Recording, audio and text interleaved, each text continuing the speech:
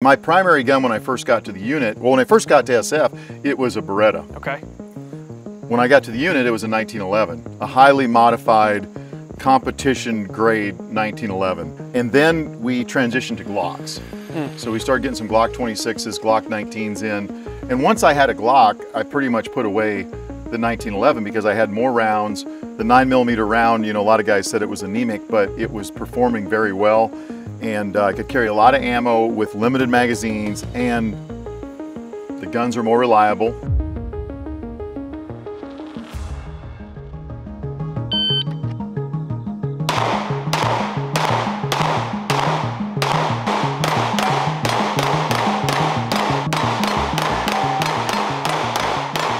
All right, guys, thanks for joining us. We're here talking about a little bit of EDC stuff, and Mr. Lamb is the, oh, jeez. Mr. Lamb has a... okay, you start over if you want. No, no, we're gonna keep rolling oh, with it. Oh, I was, come on, man. You, really? No, whatever, go ahead. Right. I'm sorry, I apologize. You're I, good. I'll, wait, we're let me put my face on. here. Okay. You have a very specific and unique position in the industry. Not only have you carried guns professionally as a Green Beret, you've kind of, you have that resume of been there, done that, but what makes you special in my mind is that you've continued your training, your research into everyday carry.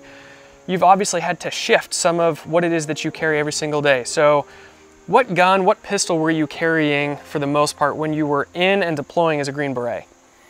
Okay, so that's a, a loaded question because we carried a lot of different guns, but primarily, my primary gun when I first got to the unit, well, when I first got to SF, it was a Beretta. Okay. When I got to the unit, it was a 1911, a highly modified competition grade 1911. And then we transitioned to Glocks. Mm. So we started getting some Glock 26s, Glock 19s in. And once I had a Glock, I pretty much put away the 1911 because I had more rounds. The nine millimeter round, you know, a lot of guys said it was anemic, but it was performing very well. And uh, I could carry a lot of ammo with limited magazines and the guns are more reliable. And the 1911 to me is still the most shootable gun on the planet.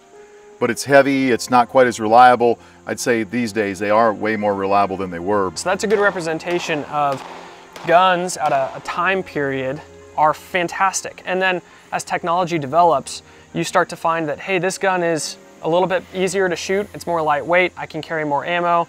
The way the technology works with even the ammunition, we start to find that nine millimeter, yeah, it's a smaller round, it's moving a little bit faster, but what is it actually doing ballistically when it is hitting whatever it is that you're shooting at? So the point is technology is developing. So not only have you been in the military and trained people professionally, you got out and you continue to train people with Viking tactics. As a civilian, you've been training military law enforcement and civilians, but you also have done two things that are special, I think. One is you've adapted with the technology and used the tools that are coming out on a daily basis these days to actually carry and develop your abilities. And then that second point is staying proficient yourself because there's a lot of people that will spend 10, 20 years in and then when they get out, they feel like, man, I did my time, I'm really good, or I was good back in the day, but they don't keep their abilities up. So on the technology side. Yeah, I, right away I would say technology is not as important as shooting. Okay. So I see guys on the range all the time, they show up with a really expensive customized Glock from whoever. Yeah, whoever, Zebra or whatever company is out there. And the gun doesn't work. And then you got a guy with a 1911 that shows up and, and it's an old rack grade 1911 and it runs flawlessly. Well, yeah, I'm going to pick the 1911 in that case. So I think that, I'm not saying I'm going to go back to a rack grade 1911. The point is you got to train and technology, if it's a crutch, then I disagree with it.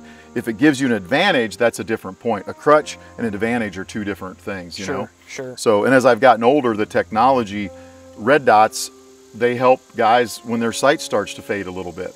With the red dot, I don't have to worry about seeing the sights like I used to.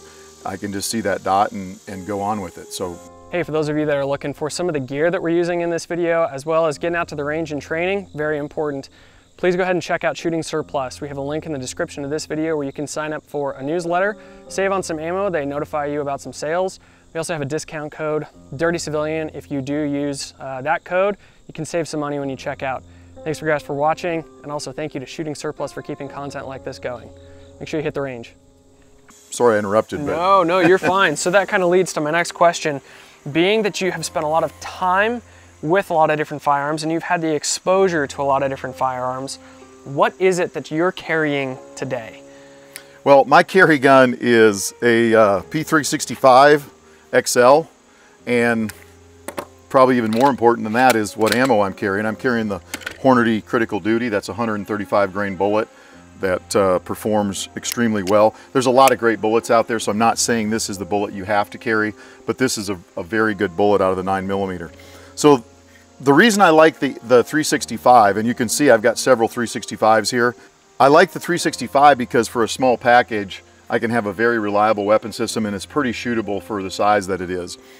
The other thing that I, I want to try to do is have a light on my pistol, and I've struggled with that because, first of all, it's hard to find a, a holster that will hold a lighted pistol. So I've got an A&R holster right here. Yeah. I got the holster that works, so I was able to put the nightstick light on there, and this nightstick light is made to go on a 365. Streamlight makes one, Surefire makes one. What I don't like about the Surefire, and I hate to say this because I love Surefire, but their XCS or whatever it's called, XSC, it, it's a rechargeable light. Right. I don't like rechargeable anything because if I need a battery, I can just pull this battery out and I, I'm, I can replace it quickly. So that's, I'm embarrassed to have you not have a Surefire in my gun, but this nightstick is a really nice light. The Streamlights, I've got some of them here as well one of the reasons I'm not carrying some of these lights and these guns is I just don't have holsters. So that's something to talk about. And then on the back end of the gun, this is kind of rigged up right now, Outer Impact. I have no affiliation to them, but I bought a riser plate simply so I could put a Delta Point Pro on there. So why would I want a Delta Point Pro versus some of these other sights? You looked at it, you like the Delta Point Pro. It's got a big window, it's right. a very durable sight. There's no buttons on the side that you're accidentally going to push. Top loading battery. Top loading battery. It's it's a bomber sight. It's amazing. Well, it doesn't fit on this pistol, so I made it fit with outer limits, outer limits, outer impact. There you go. Outer impact uh, spacer there. So, so, that's one of the things about innovation. I, why didn't I do that two years ago?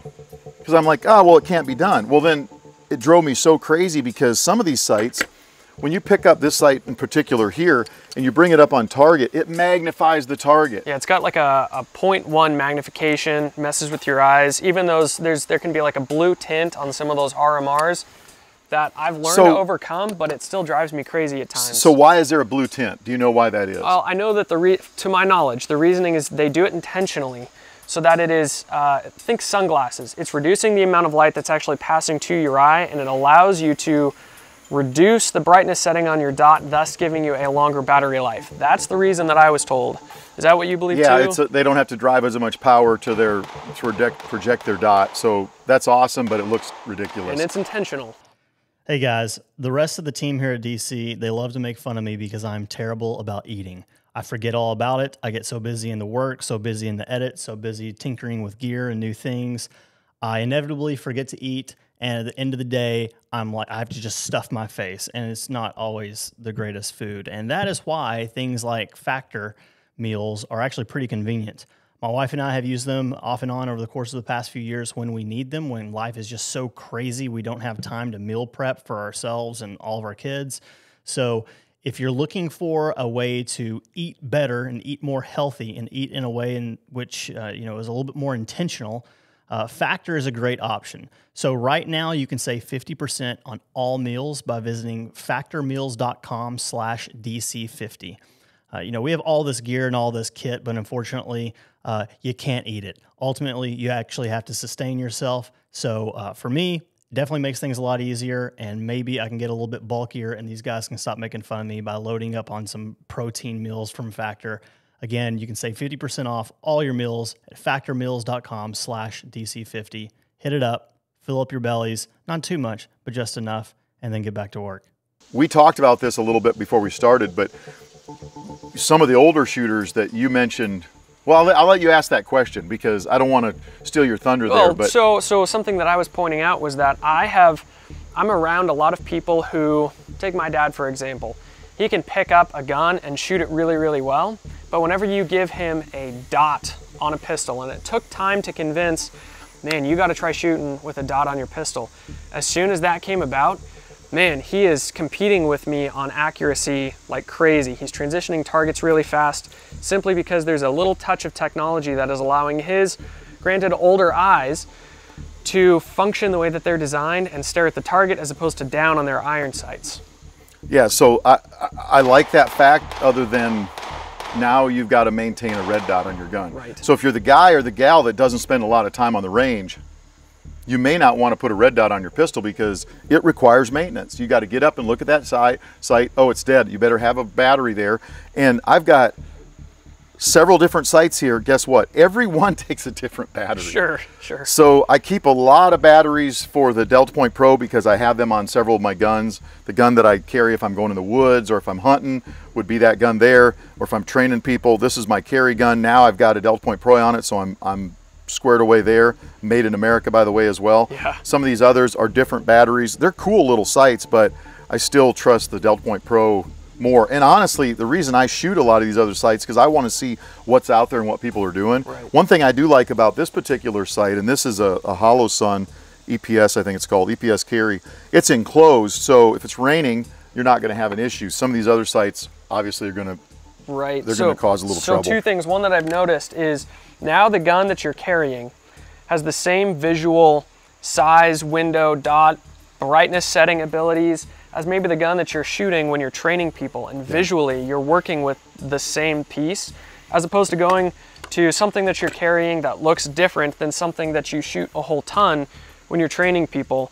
Do you think that there are some of those benefits when you're spending a ton Yeah. of time with that gun that when you pull this thing for your EDC reps or in a very worst case scenario, it looks and feels the same visually? Yeah, and the other thing I like about the Delta Point Pro is the the, the buttons. I know how the, how the button works, Right. which is very simple, as opposed to you've you've got to read the manual. At least I do to operate some of these other sights. That's fine, but I don't I don't shoot this sight as much as I do the Delta Point Pro. A follow up question though. So, this is the gun that you carry. Does this have bone stock components Uh, inside or, or as close to uh, the way that SIG actually ships that product? Okay, this gun, the only parts that I've changed are I put a flashlight on it, and I put this plate, and I put the sight. Okay. There is no trigger job or anything done to this pistol.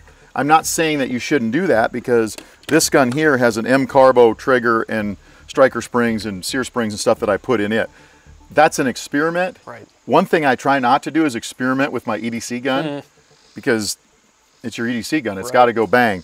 So far, the M Carbo stuff has worked, and I, I don't, I don't, I don't know the guys at M Carbo, but it, the parts seem to be nice parts. Right. But you want to validate that that tool Right. is working as designed before you're carrying it every single day. uh, this is a Spectre comp on this pistol. This is a 365 X Macro.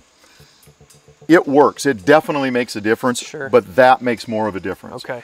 So what I would say, either one, you know, go whichever direction you want. If you want a gun that's 100% reliable out of the box, then I would get this gun right here. Sure. This has a M Carbo, no, this one has an M Carbo trigger as well. You can see it's a little bit, a little bit different. This is their TAC Ops gun. As a, a bone stock gun, this is an awesome gun. It, it feels really good in the hand too. So, the next thing that I'm curious And about it's though, 17 round mag too. That's a ton of ammo. Yeah. Yeah. With all that, let's go hit the range. And I'm curious what it is that you're doing these days and what your mindset is behind staying proficient with the gun that you're carrying. I'm always up for the range. Okay, let's do it. All right. Don't forget, you guys, ammo fuels all of your training for the most part. You can dry fire, but you still have to hit the range from time to time. We have to thank our sponsor of this channel and this episode, Wideners. Thank you, Wideners, for providing the ammo so we can actually come out here and shoot with Kyle Lamb. Been an awesome day. If you guys are looking to save some money on, uh, on Widener's ammunition, you can check the link in our description here and uh, make sure you get some Blamo. Training matters. All right, well, as stressed, the training component is the biggest deal. It doesn't really matter what gun it is that you're carrying if you can't hit anything with it. So whether you're dry firing or shooting a couple times a month or even once a month, make sure you're hitting the range. Now, the other component to that is if you go shoot, you can go burn it down and go shoot pop cans from three yards away, but you may not be getting any better, and you may actually be establishing some some bad habits that you're Although gonna have to fun. break. It is fun. That's for sure. You do need to have fun on the range.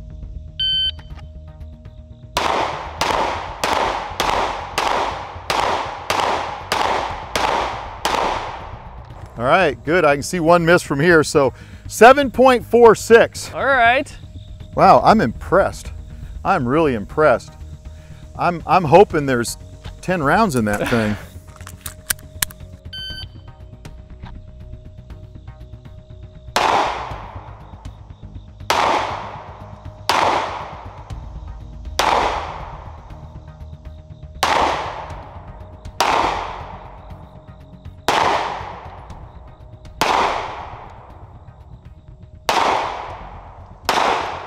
All right, 20.97.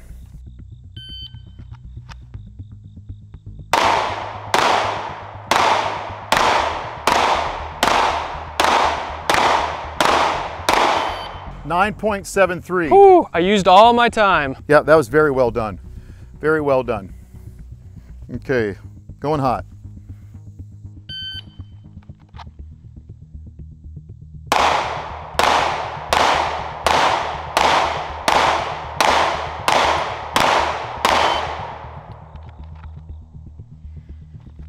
Nine point nine six.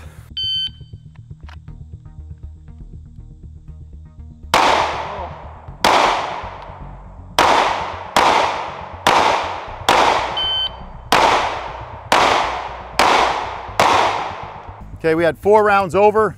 We are videoing this so we know that that is actually what happened. So right out of the gate, you got a minus four because you had four rounds over time. Okay. Okay. Oh, slow draw. Make up for it here. Come on, Dot.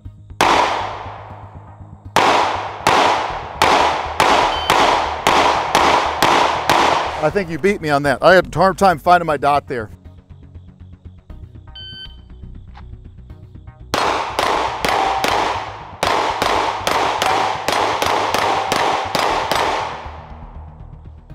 Had to think for a minute there. Those were all in. 776. All right. 7.76.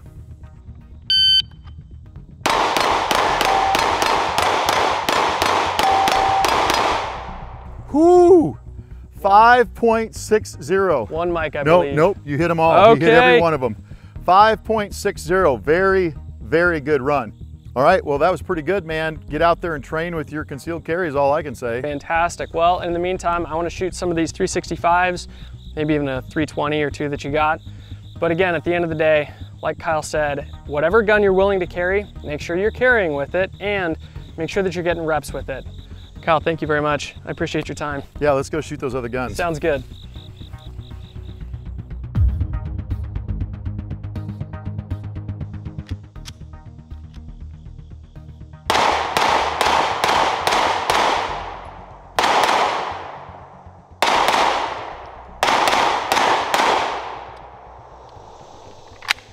Seventeen rounds. I know this thing's been out for a little while, but this thing's awesome.